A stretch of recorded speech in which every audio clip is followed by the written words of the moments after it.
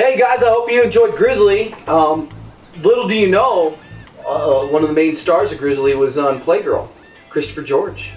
That's right. Google it, ladies. Christopher George Playgirl. A little cold in the room when they shot him, from what I hear. A little cold. He was just in the pool. Just in the pool. Just got out. That, that's what they say. Just got out of the pool. Could have been in the lake. Just got out. You know, it was crazy. Uh, got some tweets, some live tweets in the show here. That's right, guys. Uh, again, our buddy at Bill Stone King tweeted us and uh, says, um, "Why don't you pick me up while you're in Wisconsin, you fucks? I got to get out of here. This place is gonna kill me." Bill, I'm not going to Wisconsin, man. You decided to move to that shithole. I'm over here uh, on the beaches. You wanna you wanna hang out? Come to us. Come to us, man. I don't know what to say.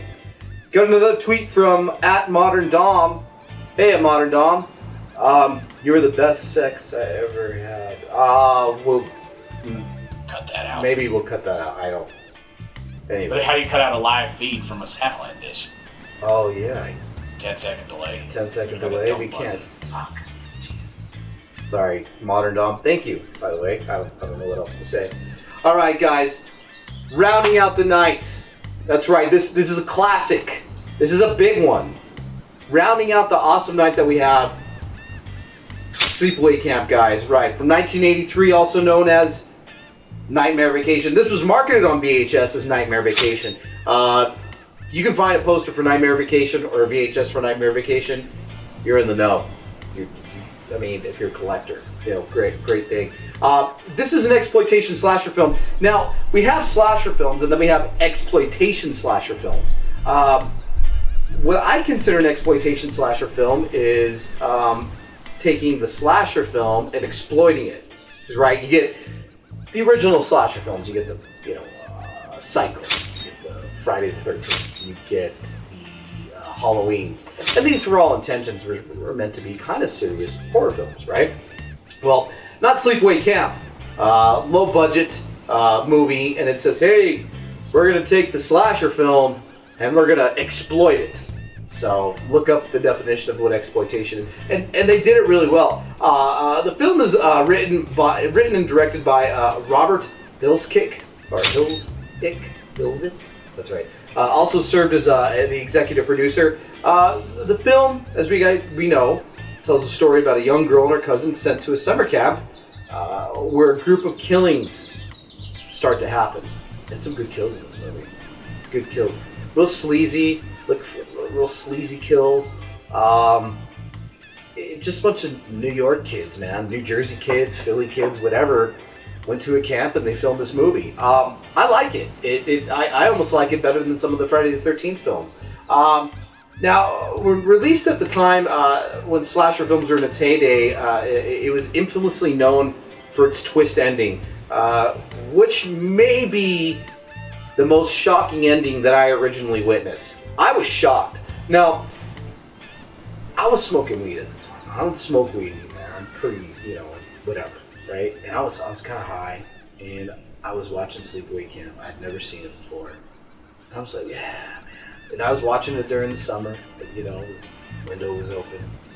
About nine o'clock at night. Sun had just set. I'm just chilling. Ate some dinner. Smoked some weed. Watching Sleepaway Camp. And that fucking ending made me sit up. I'm like, holy shit.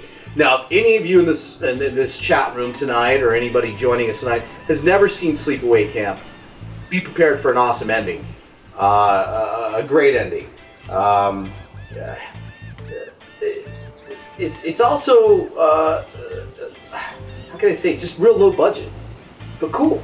Um, it's gonna be a really good companion with Grizzly. That's all I can say. Uh, be prepared to have fun. Don't turn your set off. Don't turn your phone off. Don't turn your computer off, tablet, your refrigerator, TV. Transistor radio. I don't know. I don't know, man. Can you? Might be streaming.